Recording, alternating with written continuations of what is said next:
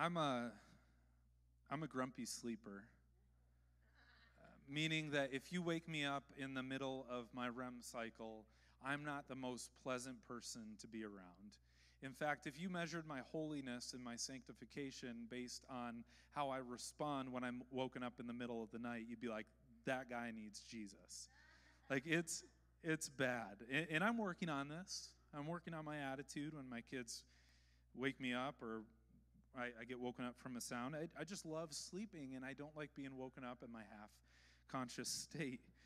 I'm not my best self in those moments. And Hannah, she really never met sleepy, grumpy Justin until well into our marriage when we had kids. You know, because before you had kids, you could just sleep through anything. But all of a sudden, we had kids, and I was waking up two to seven times a night. And I, I can remember thinking before having kids, like, well, I've, I've done sleepless nights. I've done the late night college study stuff. I, have toured and I've stayed up for three, I've gotten only three hours of sleep and functioned as a touring musician. Surely I can handle this. And I was wrong. I wasn't prepared for the lack of sleep that came with kids, and it didn't help that we started off our journey with one of the worst sleepers possible. Shout out to Henry, who's also watching online right now. And uh, you know, it was one of those things. It was rough for the first few months, and people said, "Oh no, it'll it'll get better from here. Don't worry." And then a year went by, and they're like, "Don't worry, it'll get better." And it didn't really get better. A year and a half, two years, and we just fell into this routine of not getting any sleep. And I, I can remember after about a year of this, I was so tired and I was so worn out and I was so frustrated. Like it just, it had built up within me. And I, I just had this moment of weakness. I was like, God, where are you? Like I keep praying that you'll help Henry sleep. And instead, I look at the monitor and this kid's chewing on the crib, eating splinters for breakfast.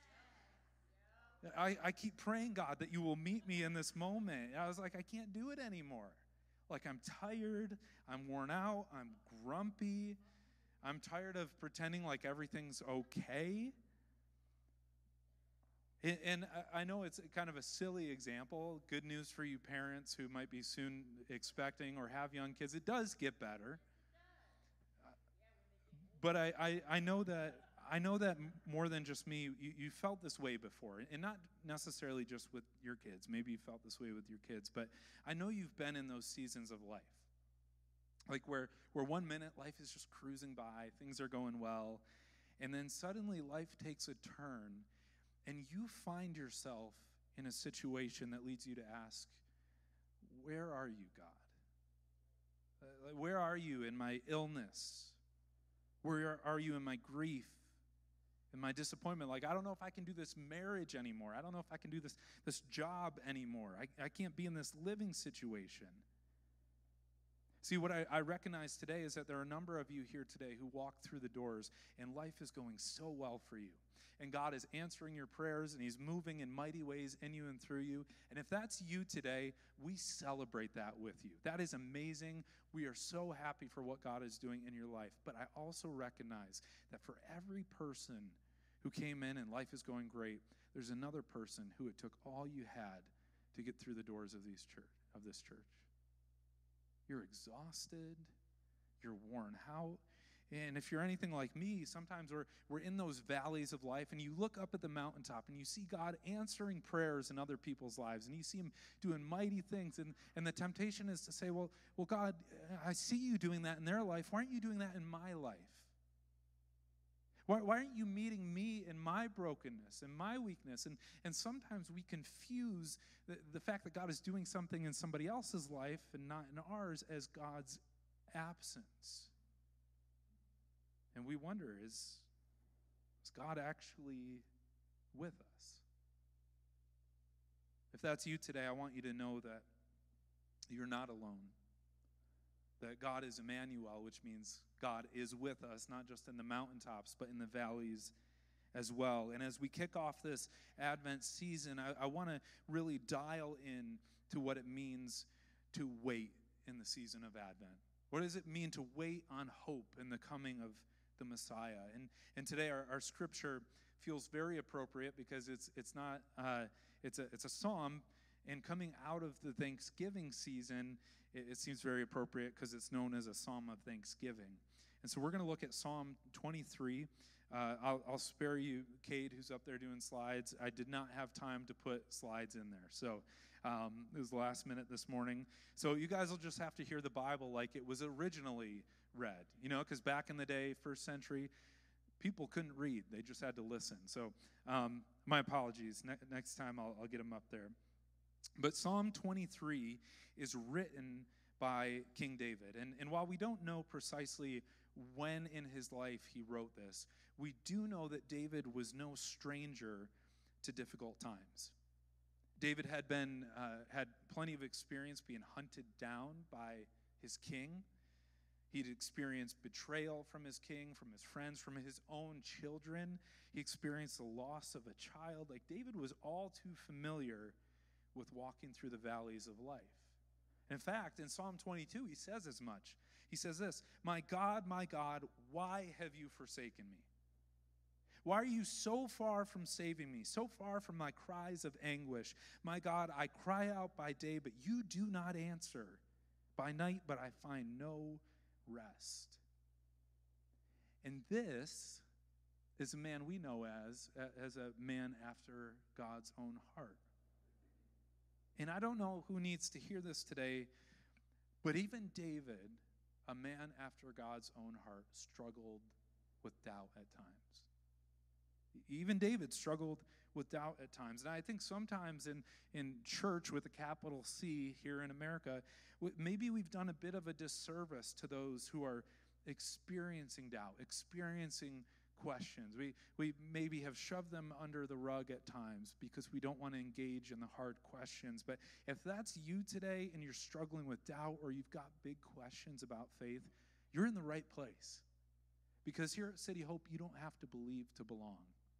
If you came with questions, if you're trying to figure out this whole faith thing, you're in the right place because we believe we serve a big God who can meet you in your big questions.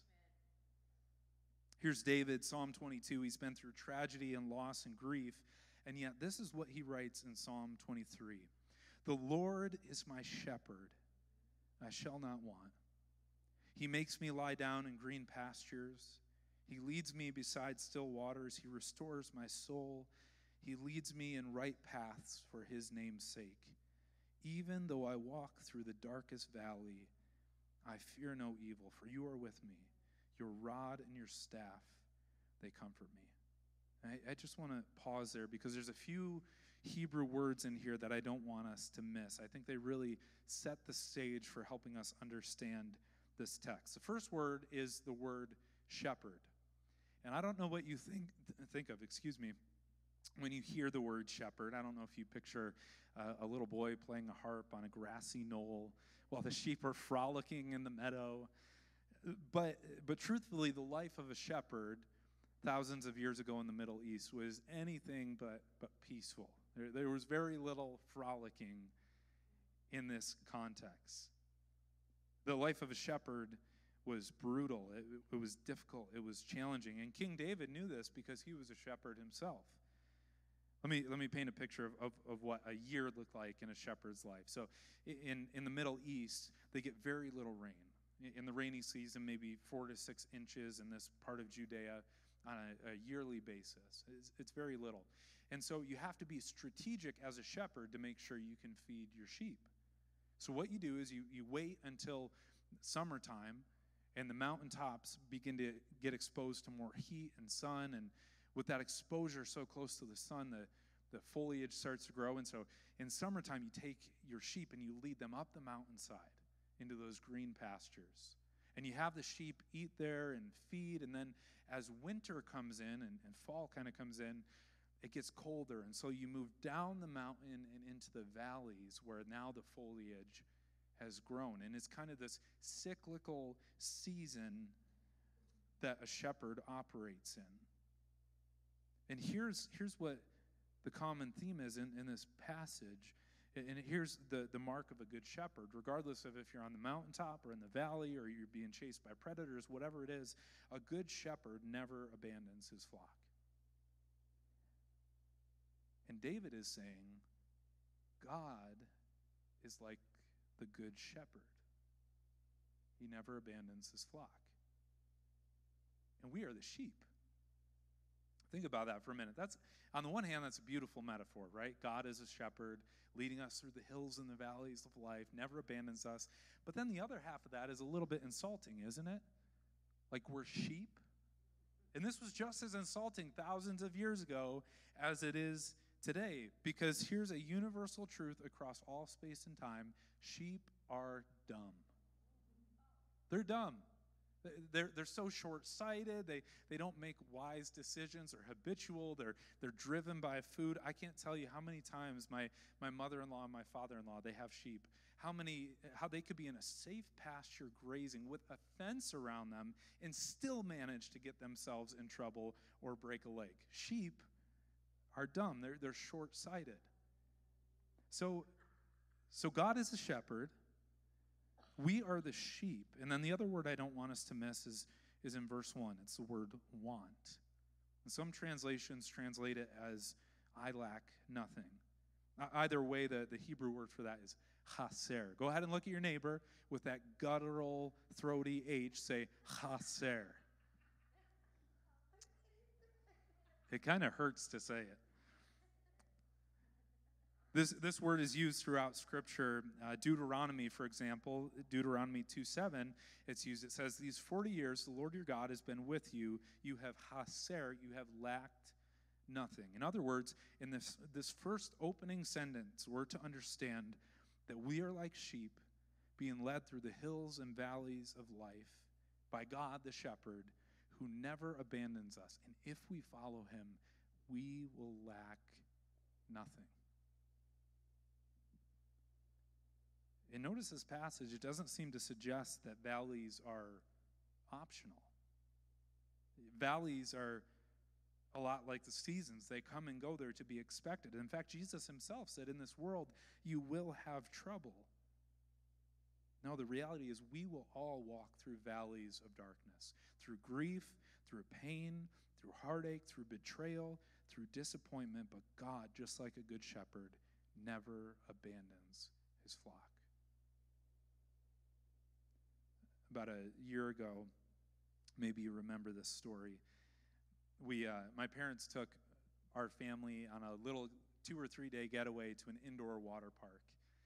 And um, it was a really nice water park. I mean, it had the lazy river, the wave pool, the slides.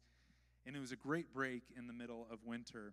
And we decided with the kids that the best way to operate was kind of to divide and conquer. So Henry went off with my dad to the little red slide that he kept going down. Junie went to the wave pool with my mom. Uh, Ezra needed a nap, so he went with his sleep deprived mom. I don't really remember what I was doing during that time. Either way, I, am sure I was helping out in some capacity. But I went to go connect with my dad and Henry, and I, I walked over and I found my dad, but I didn't find Henry. And my dad, I mean, to his credit, he looked away just for maybe 10 seconds. And in that time, Henry had bolted. We started looking for him. He was lost.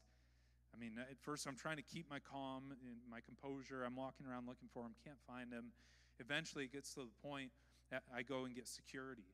We've got the security team and the lifeguards helping us look for him, and I'm getting more nervous. My mom is crying. My wife is taking a nap, which is good because if she wasn't, she would be crying. We're freaked out. Where is Henry? And after about 20 minutes, I look up at this big slide and I see this little yellow life jacket and Henry's blonde hair. And we found him. It was so overwhelming. And it just happened to be that he was going down the same slide over and over. Every time we would go up to look for him, he just happened to be going down the slide. And then we would go down the slide, he'd go up, and I said, Henry, where were you? We lost you. And he said, Dad, I wasn't lost. I was just riding down the slide. Can I tell you that there is nothing that I wouldn't have done to find Henry that day? I, I would have locked the doors of that park and not let anybody out.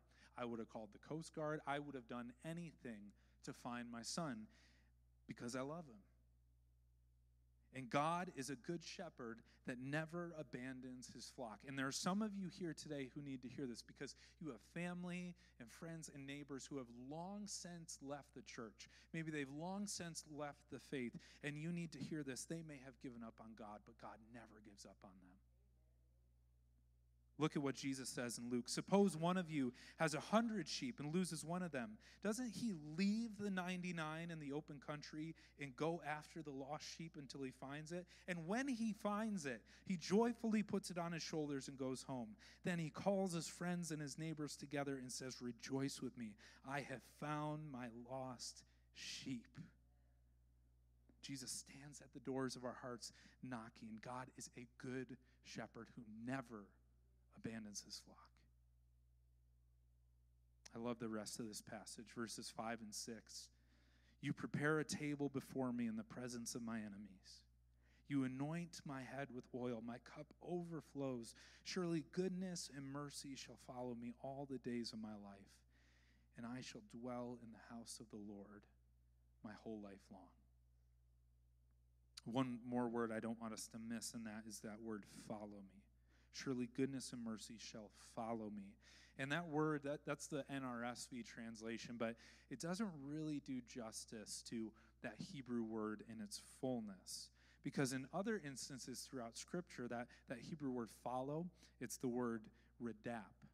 And, and in other in other texts, it's used as like a, an enemy pursuing people, chasing after them, hunting them down, if you will. And so the, the word that feels more appropriate, we could, we could read it more like this Surely goodness and mercy shall pursue me all the days of my life, and I shall dwell in the house of the Lord my whole life long.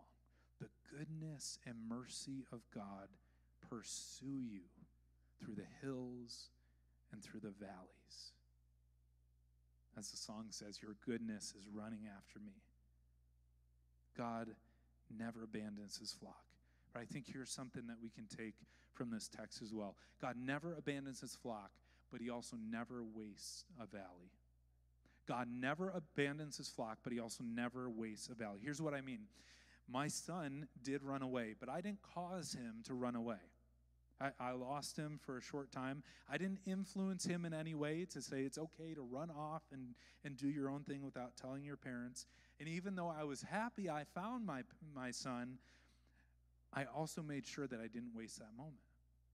I sat down with him. I told him how much I loved him, but I told him it's not okay for you to run off like that, buddy. Like, you got to stay close. And I never want my kids to get lost again, but if Junie or Ezra or Henry, if they get lost again, I'll, I'll use that as a teaching moment to help them grow in responsibility. God never abandons his flock, but he also never wastes a valley. God likely isn't the cause of your marital struggle. He's not the cause of your financial loss or the health crisis or the grief or the betrayal or the anxiety, but God also won't waste it. God can use those moments, those valleys of life when you're desperate for help, for healing, and for rest. Those can be the very places when God grows you in your faith, in your trust, and your dependency on Him. So, so many of us, we want those mountaintop experiences. We, we want to have those moments of intimacy with God where we have a vibrant prayer life and unshakable faith. And as Phillip Keller says, we speak of these mountaintop experiences and we envy those who have ascended the heights and entered into a more sublime sort of life. He goes on to say, often we get an erroneous idea about how this takes place. It is as though we imagine we could be airlifted onto higher ground. But on the rough trail of the Christian life, this is not so. As with ordinary sheep management, so with God's people, one only gains higher ground by climbing up through the valleys. Every mountain has its valleys. Its sides are scarred by deep ravines and gulches and draws, and the best route to the top is always along those valleys. You will experience valleys of life, hardship, pain, grief. They will happen, but God will never abandon you in those valleys. He will lead you through the valley to higher ground if you follow Him. If you stay with Him, you will lack nothing. He'll develop your integrity in the darkness. He'll develop your character so that one day you can serve as a beacon of hope to those who are in a similar place that you were once in. He'll use your story to reach that person sitting next to you or behind you who so desperately needs to know that there is hope and a future for them. You know, so often we pray prayers like, God, save me from the valley. Save me from the sickness. Save me from, from the grief or this relational struggle. And I don't think those are bad things to pray, but, but maybe we should just start off and, and change those words a bit. Instead of saying, God, save me from the valley, start off by praying, God, save me through the valley. God, save me through this crisis. Make me more like you. Help me to draw closer to you. Help me to follow you so closely that I lack nothing. Romans 5 3 says, Not only so, but also we also glory in our sufferings because we know that suffering produces perseverance, perseverance, character, and character, hope. And hope does not put us to shame because God's love has been poured out into our hearts through the Holy Spirit who has been given to us. God never abandons his flock, but he also never wastes a valley. And if you will draw close to God in those difficult times, you will lack nothing. He will lead you, He will guide you, He will sustain you through the darkest valley. And as we reflect on that and as we're reminded of, of that good news, I can't help but think of all those people in our community right now who don't have that hope. The, the people who don't have the hope and the, the, the, the, knowledge of the salvation of Jesus, that Christ can guide them through the darkest times. I, I think of those, those little kids that are within a one mile radius of here who, who don't know the truth about Jesus. And if we have this hope and we know it and it's encouraging, how much more would it be encouraging to those who live without hope? What light could we shine on, on the town of Gates and the city of Rochester by bringing this hope, this reality of the love of God, the Good Shepherd, to our community? And I can't think of a better way to do that than this Christmas Eve service. You know, that Christmas Eve service, that's the one holiday, one of two, Christmas Eve and Easter, where if you invite an unchurched person, most of the time they will say yes. They're looking for plans. They're looking for an opportunity. And I'm preparing my sermon in advance that day, and I'm just letting you know I'm preaching John 3:16. I am preaching the gospel. I want people to hear the gospel, to respond to the gospel, and I want to see God do a mighty work in them and through them. But we need to invite them here. We need to, to take that step out in faith and, and offer them a lifeline when they need it so desperately. We've got a number of these eventually cards for our sermon series with details on how you can register and sign up. And I just encourage you as you go out today, grab one or 10 of these and invite that coworker, that neighbor, that family member who you've been praying for. And watch as God does immeasurably more than you can ask or imagine. Our world needs to know that God is a good shepherd who never abandons his flock and he'll never waste the valley. I'm going to ask the worship team to come back up, and we're going to prepare for a time of communion together.